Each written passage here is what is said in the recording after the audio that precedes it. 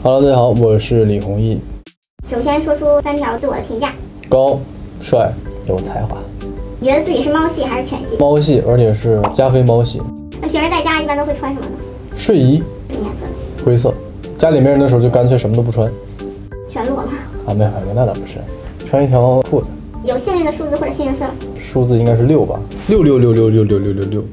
幸运色的话应该是黑色。有比你大的粉丝喊你小哥哥，内心的 OS 是什么？能接受的恋爱年龄差是多少？十岁、二十岁都行。女生做出什么样的行为才会撩到你？会打游戏，要么比我强，要么被我带，你选吧。你选吧。经常玩的网络游戏是什么？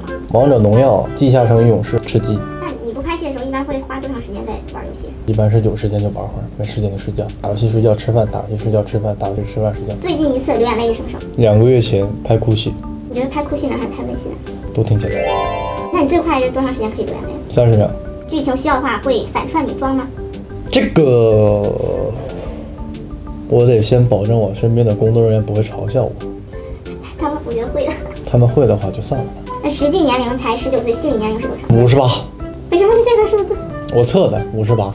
明明是大长腿，却经常被拍成一米五八，这思想说什么？腿长这个东西，我自己知道就行了。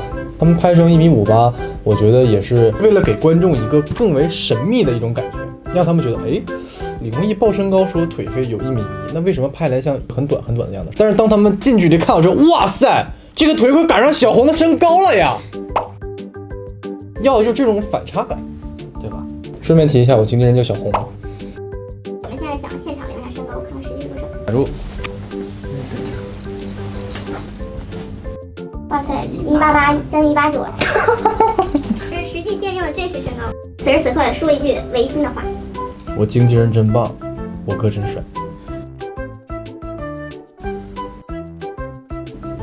微信最近联系的一个非工作人员是谁？我妈说了什么？让我还她钱。你还欠你妈妈钱？嗯，那我不只是欠她一笔钱，那以后养老什么的我都欠着呢。OK，好的。拜拜。